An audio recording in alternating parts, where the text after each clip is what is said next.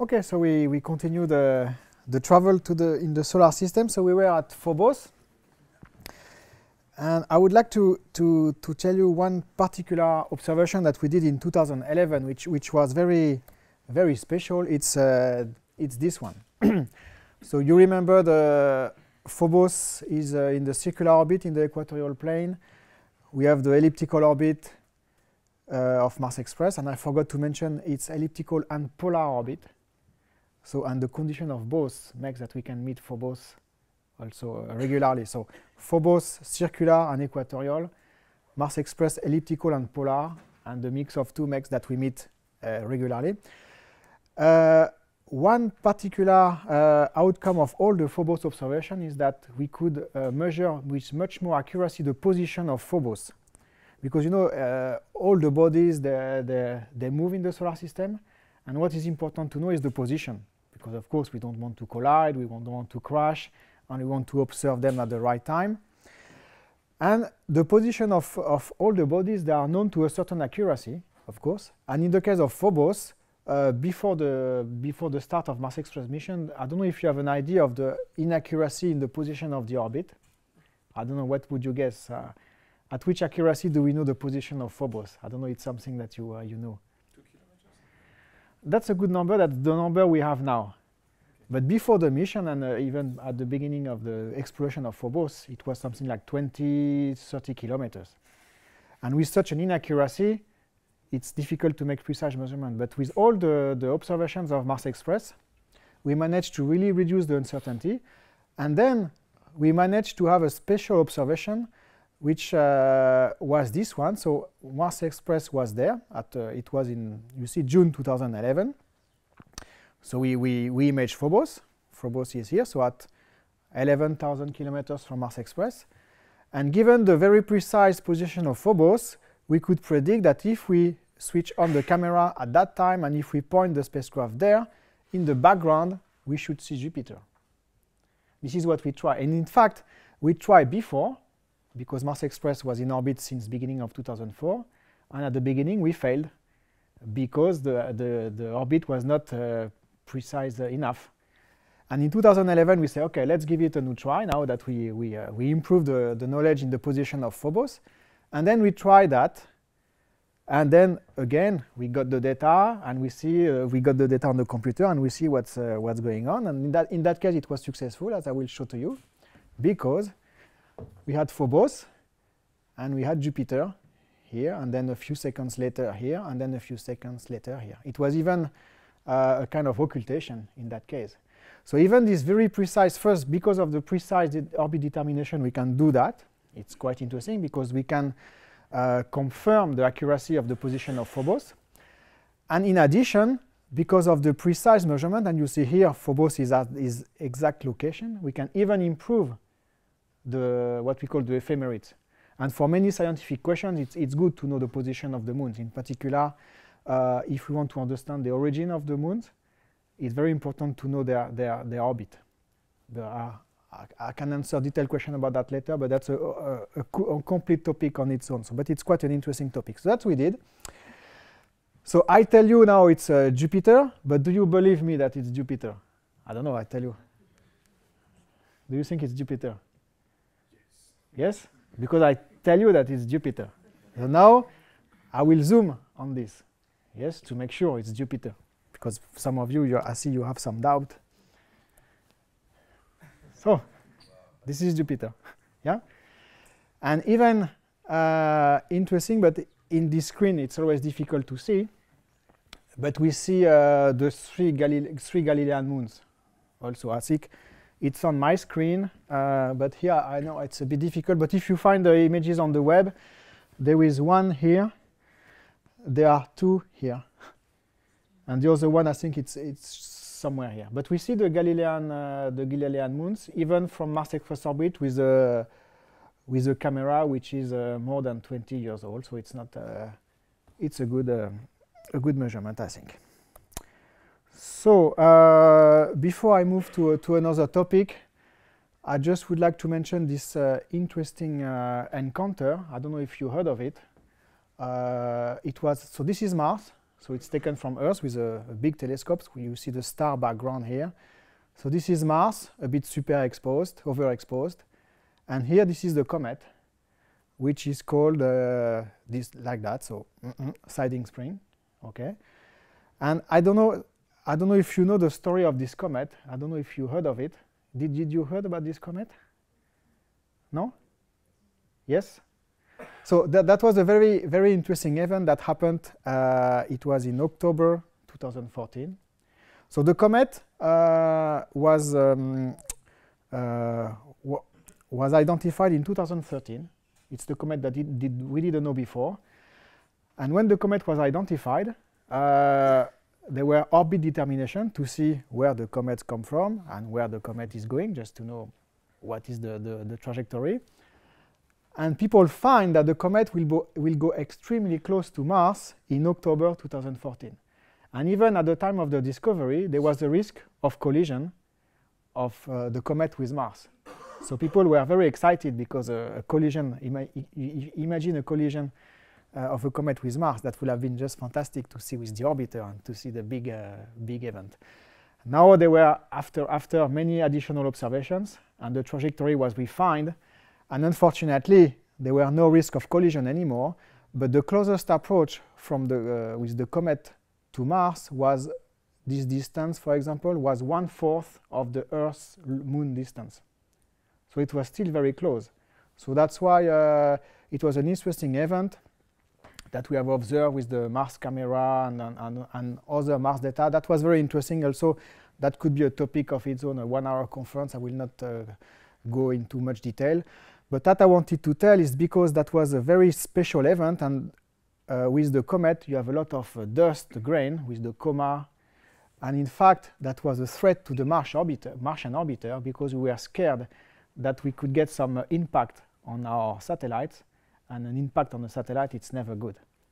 So that's why uh, when we know that, we had one year to prepare the best strategy how to protect the orbiters during this encounter. So there was also a lot of work behind, and we changed the orbit to make sure that at the time of the closest approach, we were a little bit behind Mars to be protected from the dust impact, this kind of stuff. So there were a lot of uh, interesting technical activities. And then during the closest approach, also some uh, instruments were switched on and we, we got some interesting measurement of how the dust interact with the atmosphere of Mars. But that's, that's, that's another topic. So uh, given time limitation, I think I will go directly to, uh, to JUICE because that's my uh, next, uh, my next project.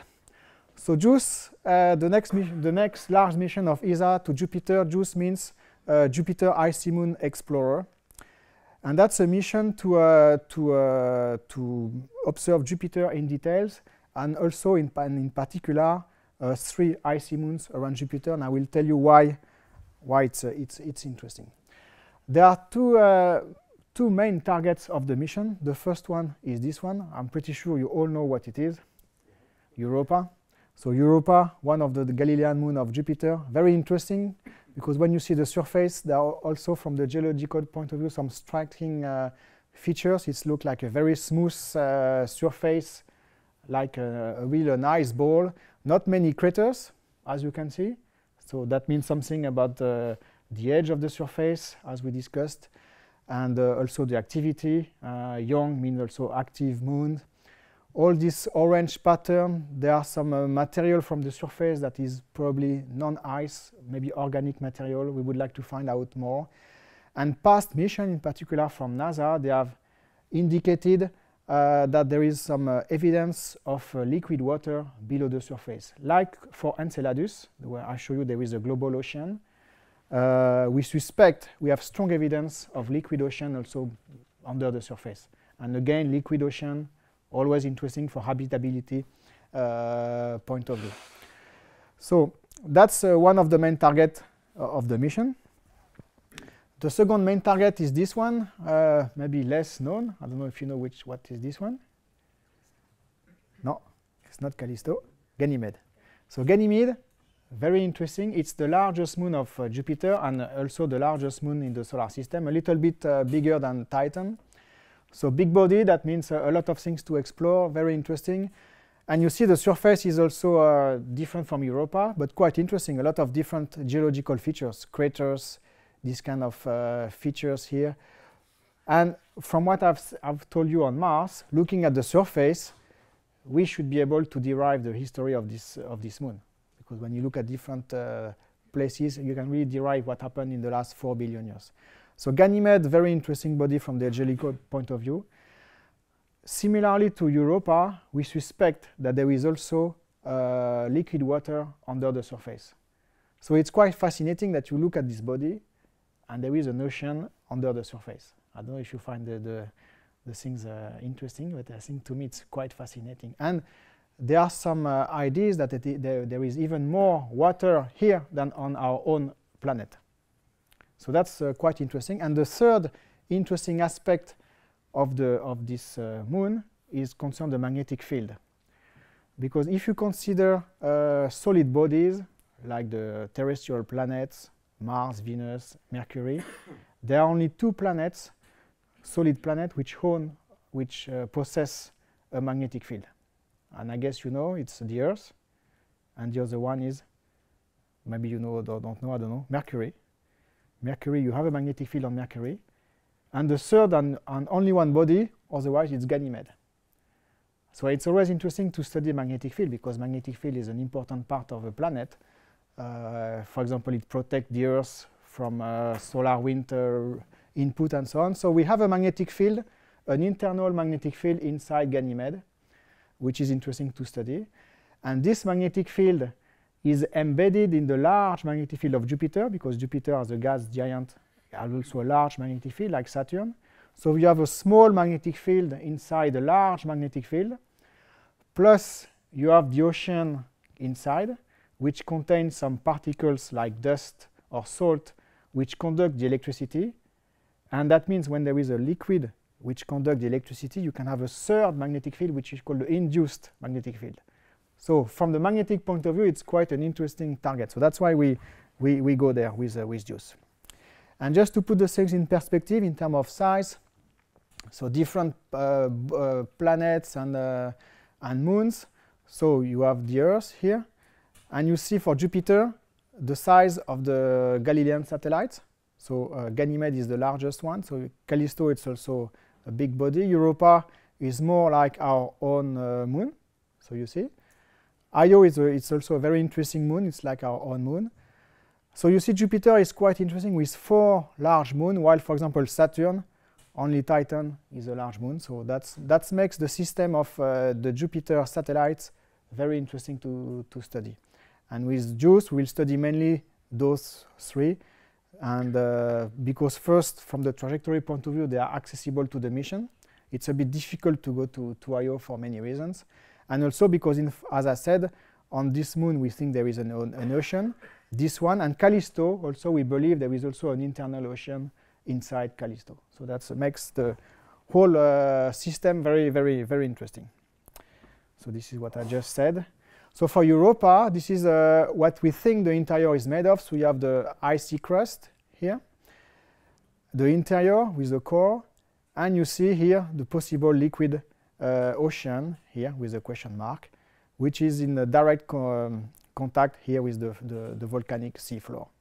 So that's from the habitability point of view, it's quite an interesting and we would like to know more. So during the mission, we will have two flybys uh, of Europa. We cannot be, we cannot have more flybys of Europa because Europa, as you have seen in this uh, chart, is that's the distance to Jupiter. Europa is relatively close to Jupiter. And the closer we have to Jupiter, the, the, the more dangerous it is for the spacecraft because of radiation because of the large magnetic field of Jupiter, there are a lot of uh, charged particles, very energetic, and when they hit this, any spacecraft, it can damage electronics, cameras, and so on. So that's why we cannot go to Io. Europa will do only two flybys, and then we'll concentrate on Ganymede and Callisto, just because we want to have a spacecraft uh, in good health for mo most of the part of the mission. Also, another interesting aspect of Europa will be to to here to find, to really study the ice crust in details, because we think there is also a possibility to have liquid water pockets here, just below the surface.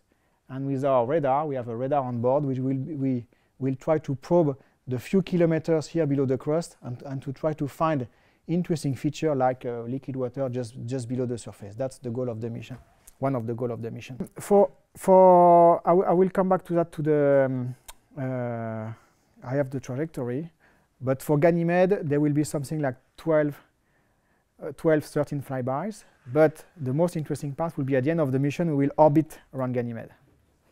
So for Europa, there will be two flybys. Callisto, something like 10, 13 flybys. Here, again, 12, 12 13 flybys, and then orbit around Ganymede. Another interesting aspect of uh, Europa is that it's very similar to Enceladus. Well, Enceladus, you have seen the water plumes. You remember that? We suspect the same uh, similar processes at Europa. Also, uh, there is less evidence, uh, but there are some observations of the Hubble Space Telescope, which has indicated evidence for geysers or water vapor ejection from, uh, from Europa, but they have not been confirmed yet. They have just been seen only a few times. So that's why, but there is a possibility that we have uh, similar processes at Europa than at Enceladus. But that's something that uh, hopefully we will detect and confirm and study in more details. For Ganymede, that's a, a snapshot of the interior. And again, that's a very interesting moon because it's highly differentiated. You see the iron core, the mantles. Uh, this is the crust here, ice, and then in between an ocean again. So that's what the, the modeling of the interior tells us, based also on some uh, measurement uh, from previous mission which are at the limit of sensitivity. So this is, we have evidence, but we need clearly a confirmation of, of that and to study this ocean in more details. And the fact that it's a saline ocean, it's important because if, the, if, if it's only pure water, we'll not have any magnetic field uh, information because uh, there is no conduction of electricity. If there is a salt to conduct the electricity inside, uh, we, sh we, should be able to see uh, disturbances in the magnetic field, and that's a very po powerful way to detect an ocean. The tricky thing is you see the ocean is below the crust, and there is no way we are not going to land on the surface and to make a hole of a few kilometers to find where the ocean is. It's just not possible. So we have to rely on a lot of indirect measurement, like magnetic field and other measurement. But all these measurements, even if they are indirect, if they are all made together, they should constrain the interior and tell us something about that. So, but because we cannot go there directly, so that's that's as easy as it is. This is what I was saying for the magnetic field. So that's uh, uh, an illustration of the magnetic field lines around Ganymede, and you see it's quite complex because, as I said, there is an inter internal magnetic field, the dynamo of Ganymede. There is an external magnetic field of Jupiter, of Jupiter and there is the change of the magnetic field due to the internal ocean, which makes the complete picture very complicated. So uh, uh, people that, that who will analyze the magnetometer data, they will have a tough job to really characterize everything to see what is the exact signature in the magnetic field data due to the internal ocean. But, uh, that will be possible, but that's, that's a difficult measurement. Uh, another measurement that we'll be doing to study the interior of Ganymede is this one. And that's a very interesting one because so that's Ganymede. And that were some uh, observations again of Hubble Space Telescope. And if, if you see this image, what does that tell you? What do you think there are those, uh, those light emissions at Ganymede? Yeah, exactly. So that's our own Earth. Uh, we have aurora, like uh, you know on Earth the auroral, oval due to the internal magnetic field. Because Ganymede possesses also its internal magnetic field, we have also aurora. So that's first one, one very interesting uh, uh, measurement to be, to be done. But the most exciting part is that because of the ocean, the magnetic field will change, as I said, and then the location of this aurorae will change with time. So that means if you observe aurorae and if you do a temporal evolution, if you see from the oval or, or, or oval will, will move with time, then you can relate those movements to the interior of, uh, of Ganymede and the internal ocean. And that's, if you, if you think about that, it's quite, it's quite a complex measurement, but that links overall physics, so people doing electron bombardment, plasma physics, which people who study the interior of the moon, and normally those two communities, they are completely disconnected because there is not something as extreme as studying the interior of a planet and the plasma of the planet. And in that case, we'll combine these two approaches. And that's when I said that uh, when we sell a mission, we want to address, uh, we want to serve different communities. This is the best example of serving the community doing plasma physics. So charged particles, electrons at 80 kilometers altitude with people studying the interior of a planet. I have never seen that in any other mission. So just to give you the, the interdisciplinary aspect of the, of the mission. Callisto also interesting uh, because when you look at the surface, it's completely different from Europa and Ganymede. When you look at that, craters everywhere. So that means the history of Callisto is also different from the history of uh, Ganymede and, and uh, Europa. And uh, because we want to, to compare what's going on in the Jupiter system, it's good to study Europa to understand what's going on, to study Ganymede to understand, and to understand Callisto. And Callisto is probably, when you look at this uh, crater density, it's probably a very old object that not much happened in the last billion years, while the other two, Ganymede and Europa, they are more active. And we want to understand why in the same environment of Jupiter, we have active world and more world which are more dead, so to say. So that's also interesting. Uh, Jupiter, because we are in orbit around Jupiter, we'll study the uh, the atmosphere. I mean, we will spend more than two years in orbit around Jupiter doing flybys, but when we are not doing a flyby of the moon, we'll point the instrument to Jupiter, and we have spectrometers images to study the planet in details, the circulation, uh, the giant, the, the great red spot, and so on, the aurora here. So that will, we will do also a lot of Jupiter science. And also it's important to study Jupiter as a whole system because we want to understand what are the conditions for the moons to have to, to, to harbor uh, internal ocean inside. So why do we have an environment that allows to have this kind of habitable place in the Jupiter system? So for that, we need to study Jupiter as a whole. And plasma physics around Jupiter, because Jupiter has a large magnetic field, which, which rotates very fast, because Jupiter rotates very fast in 10 hours. So if you compare with Earth, 24 hours, small planet, Jupiter, a big planet, rotating at 10 hours. so that means there is a fast and very strong magnetic field rotating. So that's interesting to, uh, to, to study. And the moons, they, they, are orbiting Jupiter. So they are also in this environment. And we want to study how the magnetic field and the radiation affect or interact with the moons. Because that's also important for habitability and things like that. For example, we will expect that the moons, they are really impacted by a strong radiation. Uh, so we should see the effect on the surface.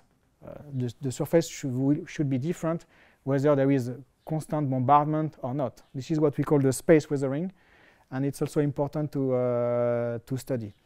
So you see the strong, uh, strong coupling between the magnetic field and the moon. So in the case of Io, we'll study that from, uh, from far because as I said, we cannot go much closer to Io. But Io, it's a very interesting moon because it's a volcanic moon. So we, with the volcanic uh, eruption, we inject some plasma into space. And the plasma, they are taken by the magnetic field of the planet. So there is a very strong interaction between the Io and the magnetic field. And in fact, some of the plasma content of uh, Jupiter is because Io ejects some uh, ions due to volcanic activity. So that's an interesting aspect here. For Europa, we'll study the radiation. And also because of the internal uh, uh, uh, ocean, there will be an induced magnetic field to study.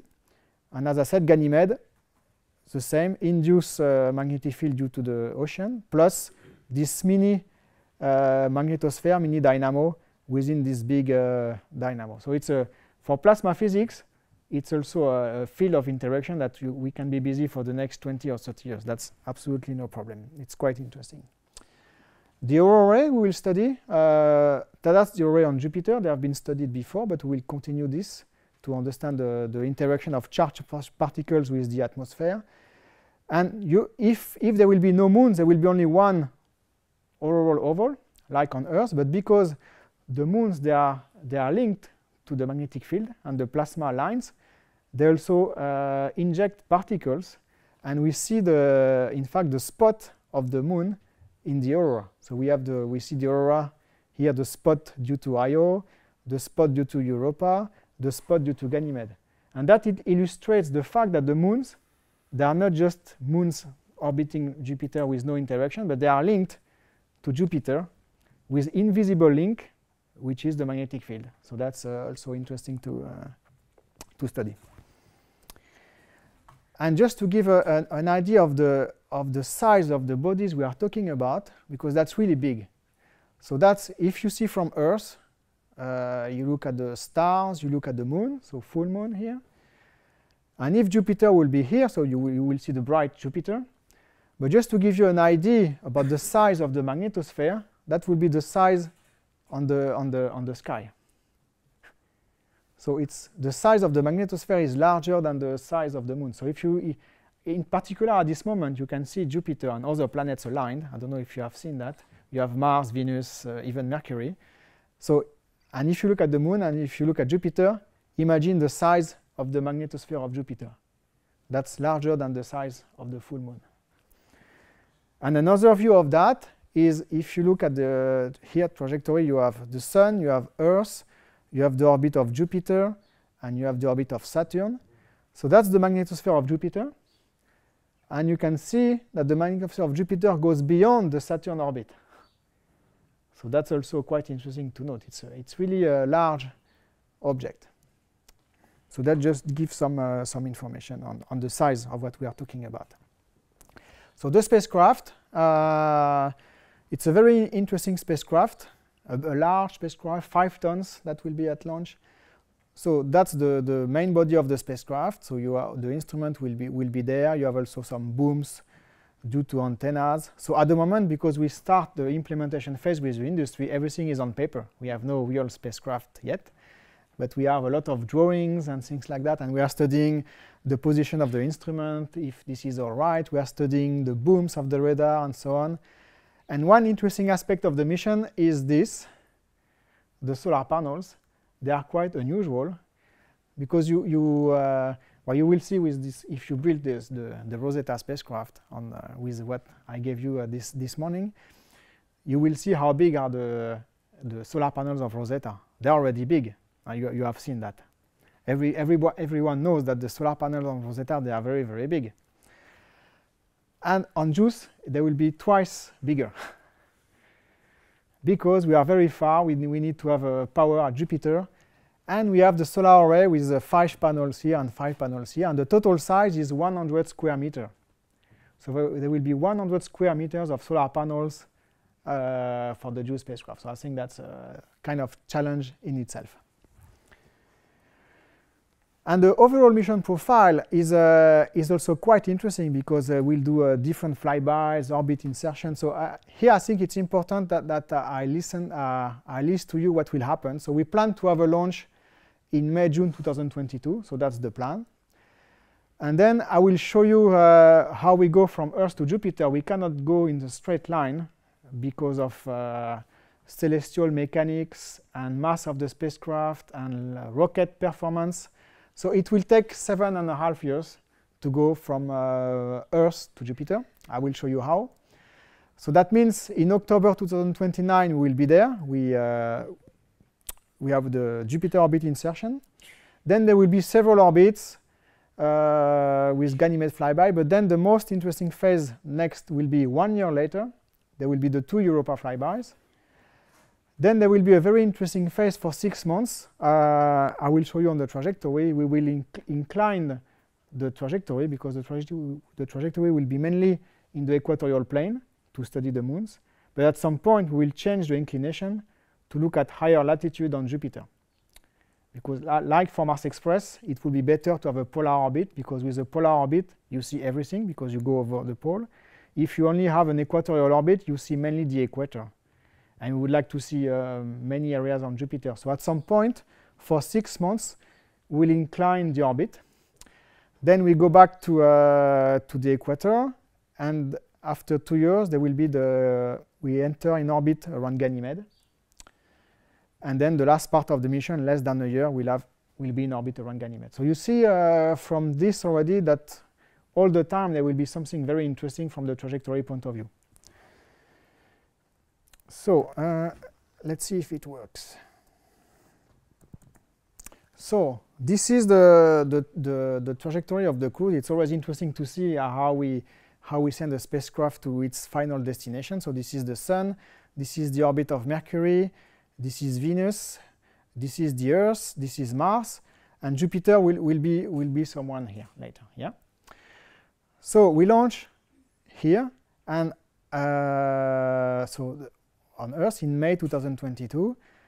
We would like to go directly to Jupiter, but it's not possible because the spacecraft will be it's five tons, and we use Ariane 5, which has some uh, limitation. It's a very powerful rocket, but we want to send five tons to Jupiter, and we cannot go directly. We don't have enough energy.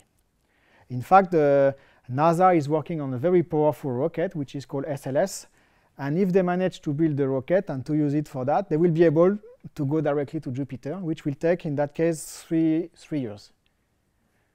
But for us, it, uh, we do a little bit of uh, uh, turning around, and it takes seven and a half years. But the important is to go there. Yeah. So before going there, uh, we will use the planet to get some uh, energy with different with the different flybys. Every time we fly by a planet, we get a little bit more of energy. And at some point, we will have enough energy to go to Jupiter. And I will show you how we do that. So a first flyby of the Earth there. So we fly by the Earth, we get a little bit a Venus here, another flyby. Then the second turn around the, the Sun, another flyby of the Earth, followed by a flyby of Mars. And then the, the third turn around the Sun. So Jupiter will, uh, will arrive here. We'll have a final flyby of the Earth, you will see. It's now, and then we have enough velocity of energy to reach Jupiter, and we will arrive there after seven and a half years. So we have to be patient, and then we will switch on the instruments sometimes like six months before arriving to, to study Jupiter, and then there will be the orbit insertion there. So that's, that's the plan. Yeah. So we have to be patient.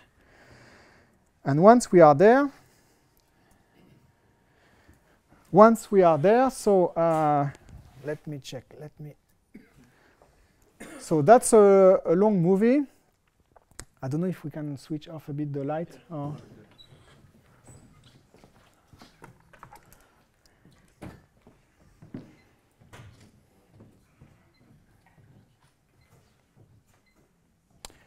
Okay, so uh, this movie you can you can uh, I will make sure you get the link uh, to to that because it's going a bit uh, fast, so it's not always easy to uh, to see everything.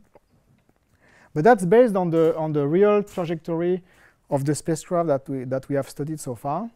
So you have Jupiter here and the four Galilean moons. So we have Io, Europa, Ganymede, and Callisto.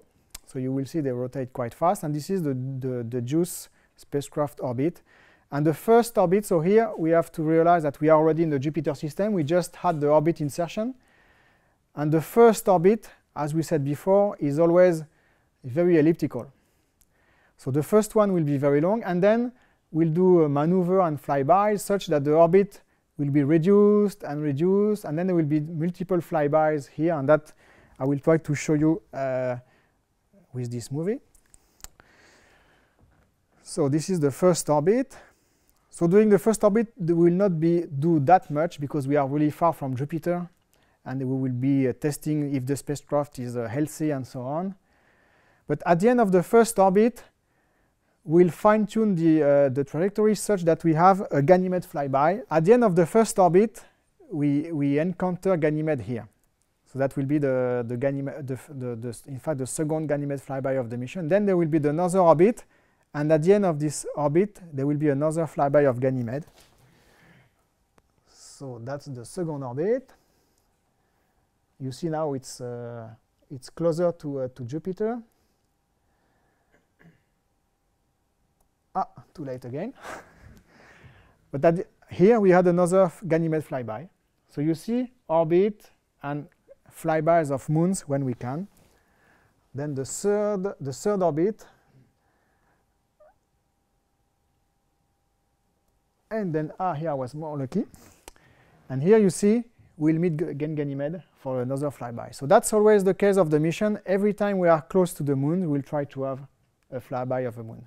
So when we are here in, in this, uh, when we are close to Jupiter here, we observe Jupiter. We also do some plasma measurement and remote sensing of Jupiter in, in that phase when we can. And when we meet a moon, we do a flyby, and then we switch on all the instruments dedicated to this, uh, to this particular flyby.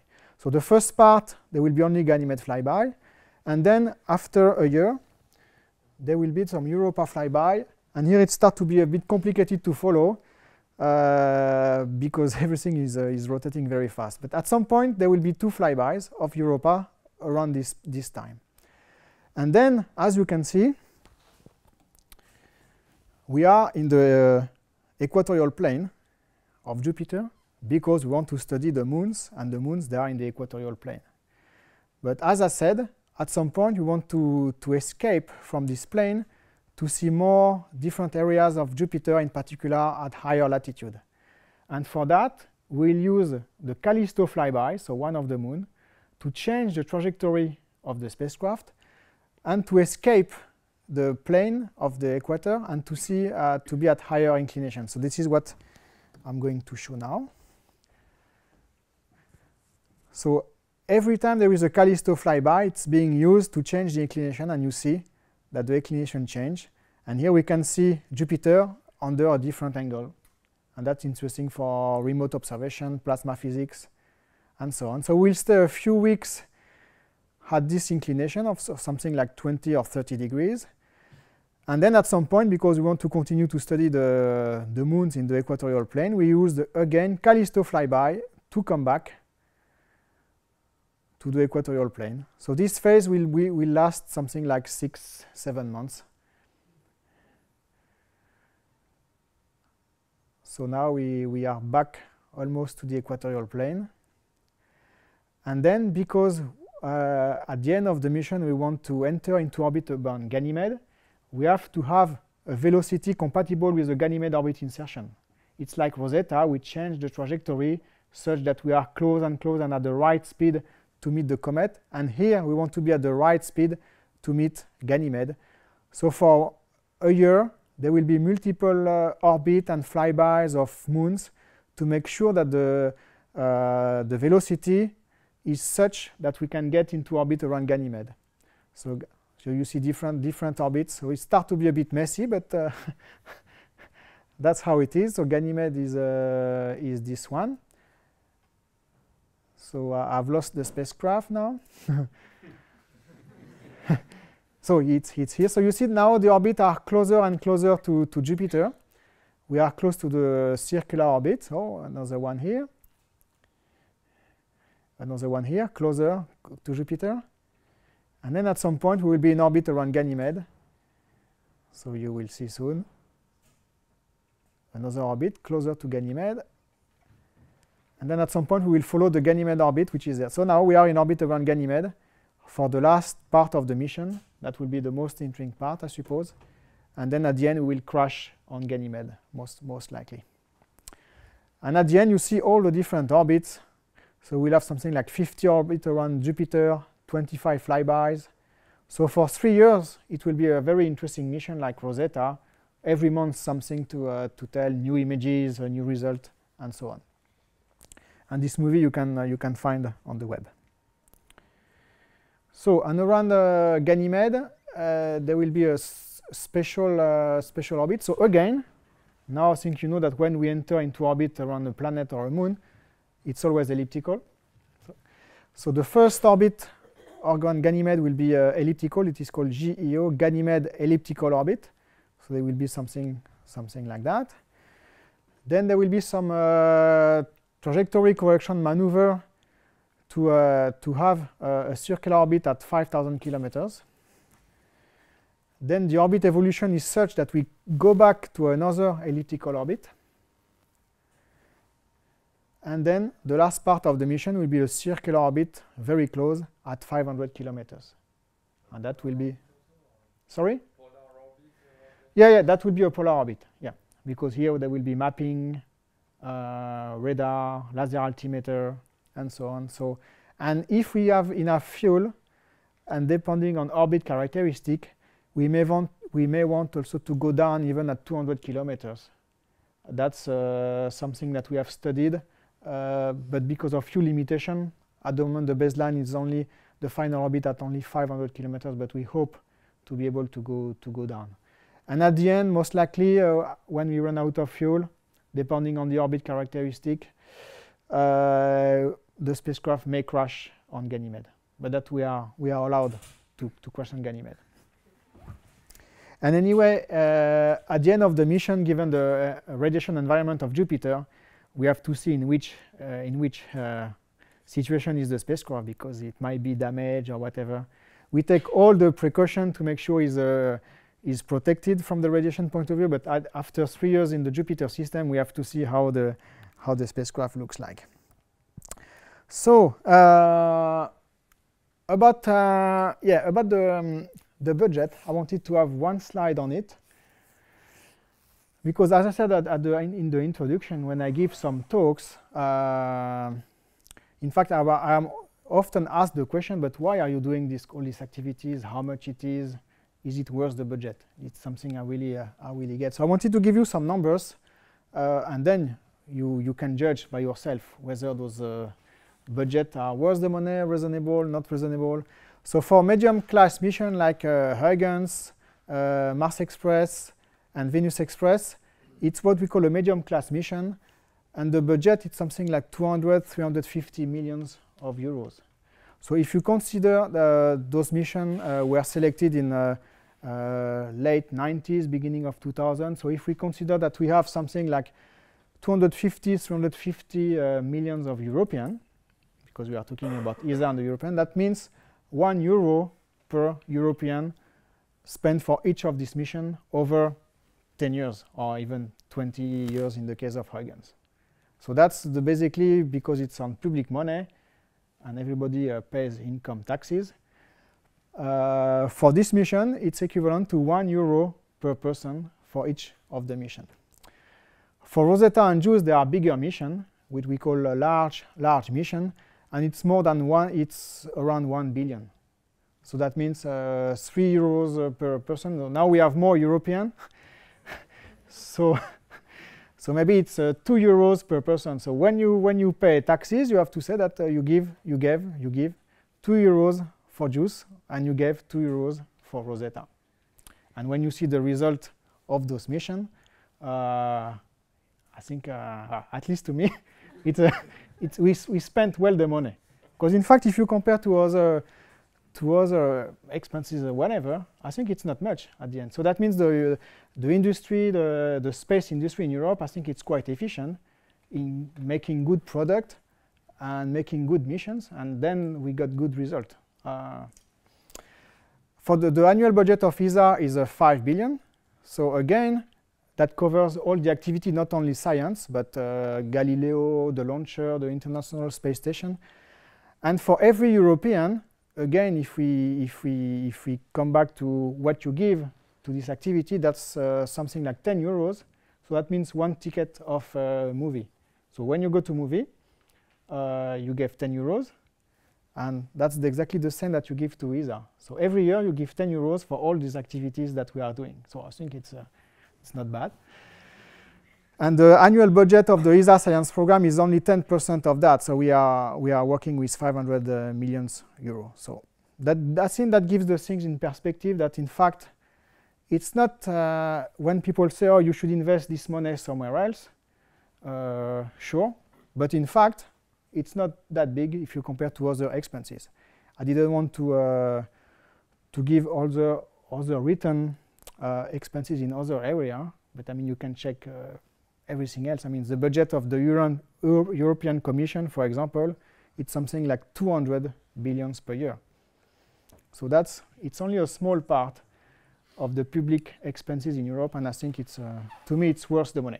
So, uh, okay, so I come back now because I have a bit more time.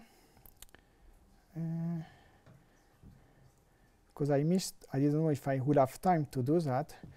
I wanted to discuss about Venus uh, because Venus is also an interesting planet and it's not as uh, well explored as Mars now because now all the missions they want to go to Mars uh, to find life, to, to study habitability, etc. But Venus, uh, it's also a very interesting target and uh, in 2005 we launched Venus Express and you see here a beautiful picture just the day before launch from Baikonur with a beautiful sky, so that's a Soyuz launcher. And Venus Express was a special program because it was based on uh, how to reuse the Mars Express spacecraft to have a similar mission. And there was a call for ID, again, as I mentioned before. Uh, if we give you the Mars Express spacecraft, what can you do? What do you want to do? And there were something like 10 different ideas. And the idea who won, who was selected at the end uh, in the process, as, as, mentioned before, was Venus Express. So Venus Express is really a, almost a copy of Mars Express with some slight differences because the, the planets are different. But we have a similar instrumentation. In fact, some of the instruments are the same on Mars Express and Venus Express. We added a few more on, on Venus Express, and we, we, we removed a, a, few also. But basically, it's a kind of replica of Mars Express to study Venus. And that was a very cheap because if, we, if you reuse uh, things, it's uh, cheaper. So we had a, a new mission for a very reasonable price. So that was the launch in 2005. And the main idea of going to Venus is that when you study Venus, you, you, you see that, uh, in fact, for many uh, aspects, Venus and Mars, uh, no, sorry, uh, Venus and Earth, they are very similar. First, they are close to each other in the solar system. I mean, Venus is just the, the planet closer to the Sun. But also in terms of size, mass, it's, it's, it's almost the same. So it's kind of sister planet. And as you know, the conditions at Venus are quite different in terms of atmosphere, temperature, pressure. I mean, it's just not possible to live on the surface of Venus, 500 degrees, 90 bars of, uh, of atmosphere. So why such uh, similar planets have completely evolved in a different pathway? And that's important for climate changes, greenhouse effect, which is very effective at Venus. So that, that's why we, we sent the mission to Venus. And also we wanted to see whether Venus is still an active planet or not, volcanic, from the volcanic uh, point of view or not. That was one of the main questions.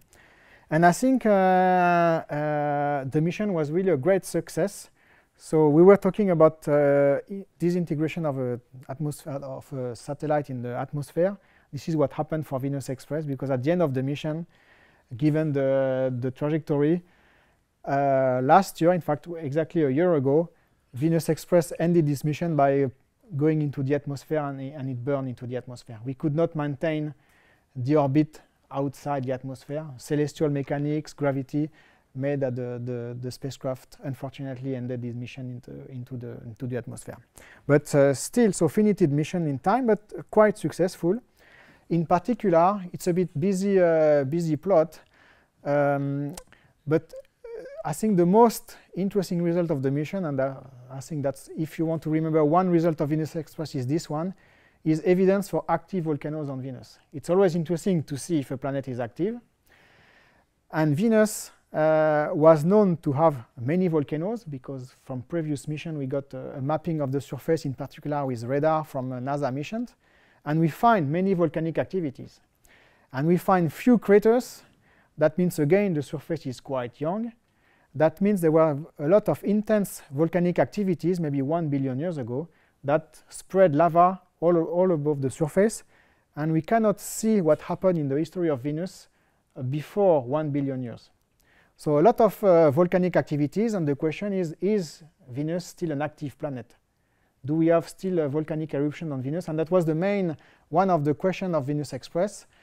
And that's a bit complicated to explain, but basically we had some uh, um, camera which measure the infrared radiation from the, coming from the surface.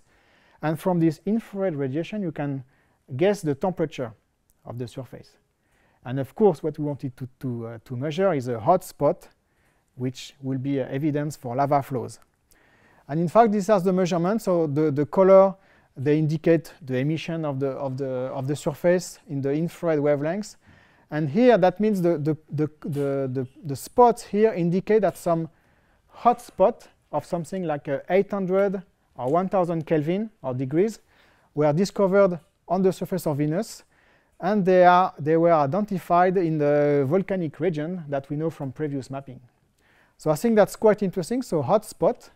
Of course, there is a kind of uh, ambiguity because we cannot be sure at the same time, at the same time that it's uh, we cannot know the size of the spot and the temperature. It's a combined information, unfortunately. So it can be a very hot spot, very small, or it can be a diffuse spot, no, not, not so warm. But from what we think, uh, hot spot of about 800 degrees have been identified. So that's, I think, the most interesting aspect of the mission. There are some other measurements that from infrared radiation, you can also get an idea of the age of the surface. It's a bit complicated, but really in, uh, at the same time as the volcanoes have been identified on the planet, we find that the age of the lava flow is quite young. Here it's written two and a half million years. So that means again, as if you remember what I said to, for Mars, uh, two and a half million years for a lava flow, it's like yesterday. So that means yesterday there were some active volcanoes on Venus, and so Venus is probably still an active planet. So then, and that is a very, very important result. And a complementary information is this curve in the atmosphere, that that's a, as a function of time. So here we are 2010 for Venus Express. And that's the SO2, and SO2 abundance in the atmosphere. And SO2 is a volcanic gas. And we find that there are some uh, difference in uh, SO2 density so that means it's a complementary uh, information to say that uh, probably there are still some volcanic activity, so to say, in the in the Venus at the moment. So that's I think it's a it's a very important result that I wanted to tell you. So that could be a, uh, an image of uh, Venus. Now it will be too much to say, but at least a few million years ago, and certainly less than one billion years ago, that could be an image of Venus and when I say that the planet evolved, it's important to, to, to, to realize that what we see now is what is uh, looks like a quiet planet, but we could have such activity not so long ago in terms of geological scale. So I come back to this, uh, to this uh, plot of the solar system that I've shown at the beginning, just to tell that um, I think it's really the golden age for in the since the last uh, 10 years or 15 years and I think it will continue the golden age for, for, for planetary exploration. So I think you are very lucky to be in that phase because there, there is plenty of data from already past and current missions. So even with the data that is in the archive, you can spend all your life digging the data and try to find new stuff. And in addition, there are always uh, mission in the planning like a Bepi Colombo, uh, JUICE in my case. So that will be uh, that will open a rich field of investigation that which almost unlimited. So I hope you can continue to be involved in that because I think it's quite fascinating. I mean, in my case, every day I am uh, fascinated and uh, not bored and find new stuff. And I hope it will be the case for you and that you might be also involved in uh, calls for future mission because I think it's good also to be proactive to give new ideas because we need ideas. The ideas come from you, from the scientific community, and then we try to best implement them and to get all the result. But it's come from you and so I hope you can continue to, to work in that field. So I think I will stop now. It's good if I take questions, and uh, thank you for your attention.